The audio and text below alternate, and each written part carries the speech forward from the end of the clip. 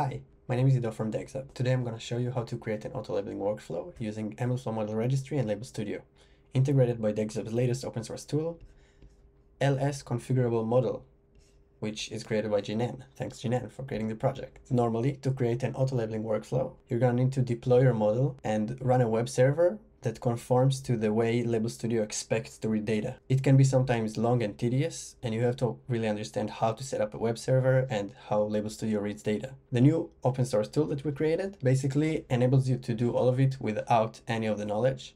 You can use a few pre-configured models that we set here for common use cases, or use your own model and actually tailor tailor make it to your specific needs.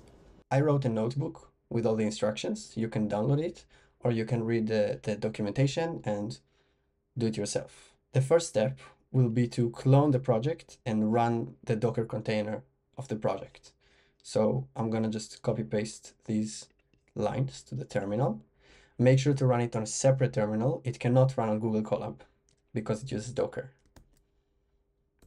This Docker container is where basically the model is gonna run at the end. So it's important to leave the terminal open and also make sure you have the Docker daemon running, otherwise it won't work. Next step will be to install the DagsHub client. I already have it installed and then get our data source. Okay, data sources are where our data is organized in DagsHub. My data source is called images. We can see it here. That's my data source, images. So I'm gonna get it with a Python client. Now, since I'm labeling images, I'm gonna choose a pre-configured model of polygon segmentation. One thing to notice is that my code needs to run from within the folder ls configurable model. That's just the way it works right now.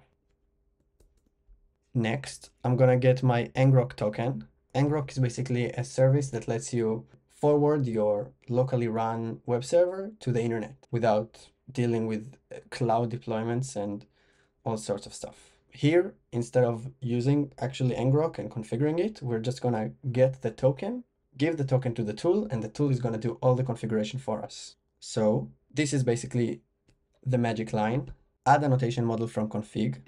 We have the name of our Label Studio project, yeah, which is also images, and the ngrok token. So I'm going to run this line, and after a few seconds, I'm going to see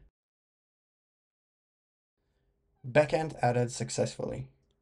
Now, what it means is that I can go into my project and now instead of manually annotating everything, I can open the image and annotations will appear magically on the photo. So I'm opening this and in the time it's loading, we can see in our terminal that the server is making a request to our machine learning model and getting back annotations.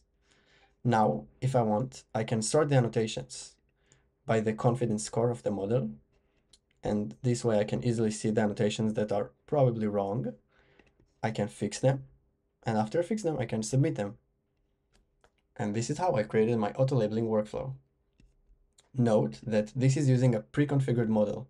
If you have a more specific use case, you can use your own model with the same tool. Thanks for watching.